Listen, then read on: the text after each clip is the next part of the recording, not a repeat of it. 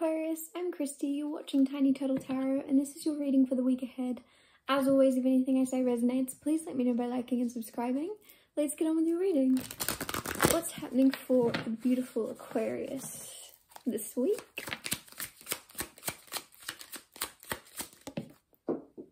That flew across the room, I'm gonna have to get it, one second. Ace of Pentacles, flying across the room, wanting our attention. Ace of Pentacles is a gift from the universe. Ace of Pentacles can be money, can be an opportunity, can be a person. It's something of value and I also feel it's something you've been wanting. And I'm not saying that just to say it. It just feels like um almost like a carrot being dangled in front of you where you're like, I need that. Like I've been wanting that, I need that.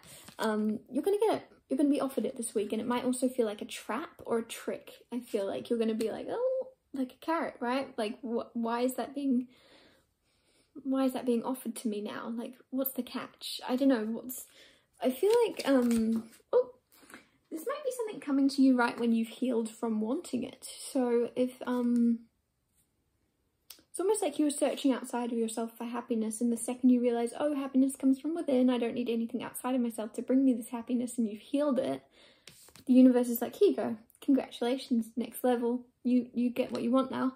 Um, like I don't know. I like I feel like this has been a long time coming, but it's just been the universe seeing how patient you can be. Like you already knew that happiness came from inside of you, but you were just like, um, okay, cool. Yep. I don't know. There's something there's something you've been waiting for that's finally like chucked at you. It's like it's almost like you you were at the boss level.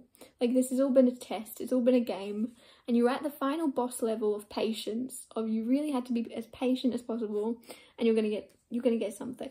You're going to get offered something, you're going to get a relationship, you're going to get given um, an opportunity in work that you've been like really, really, really hoping for, but also detaching and letting go of because you know that you don't really need it to be happy. And I don't know, there's a very happy energy around you of really kind of not caring anymore if you get something, and that's right when you're going to get this if that makes sense. If you're like, what is it I'm getting? It's the thing that you used to want, but you don't really want now, if that makes sense. You, you really wanted it at one point, but now you're like, meh, eh. If I don't get it, I'll survive. Uh, I'll live. I'm, I'm, pretty happy where I am.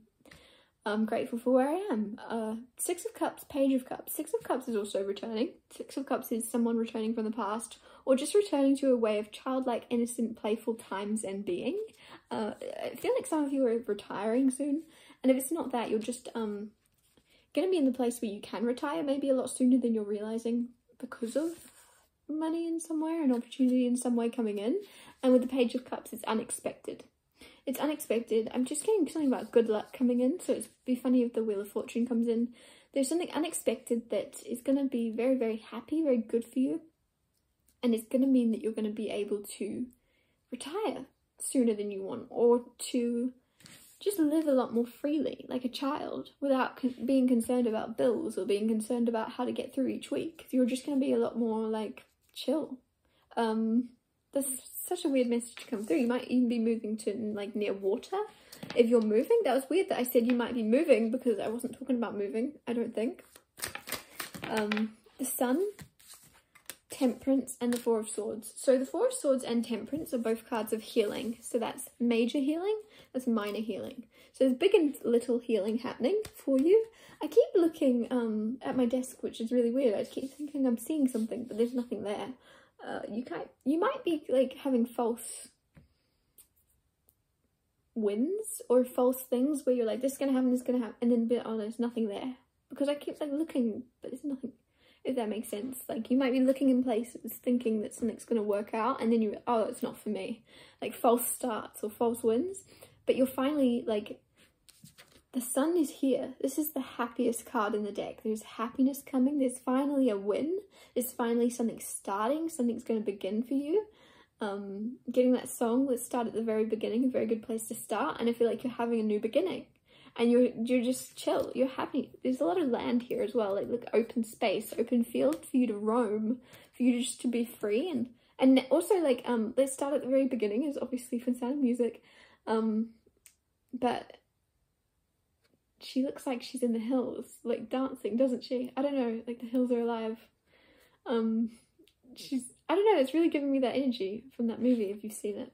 Four of Swords, Temperance. Four of Swords is healing. Four of Swords, as I said, is healing, obviously. But it's also this energy of um, hibernating or um, taking time out for yourself. I feel like you've been doing that long enough and now you're going to get a little bit more balance of seeing the world or seeing the light. Um, if you've been in a little bit of a nesting phase or a little bit of a cocoon, um, like the sun's here now. It's time to get into the sun. It's time to be seen. If you live in a cold country or somewhere where it's winter or coming into the colder season, I should say, uh, there's something about either traveling to sun, traveling to hot weather, traveling to somewhere where it's summer soon, or um, being in. You need a little bit more sunlight, some of you. I don't know. The star, this is your card.